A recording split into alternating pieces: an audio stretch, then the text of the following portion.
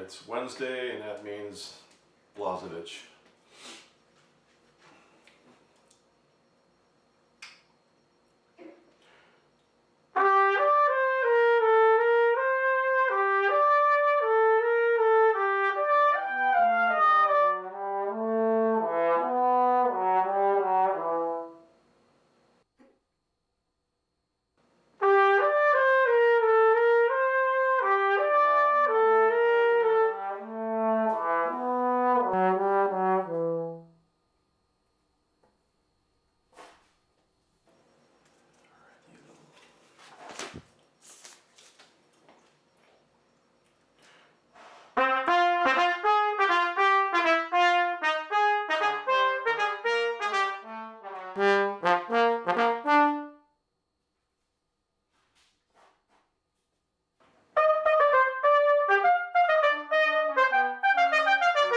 Música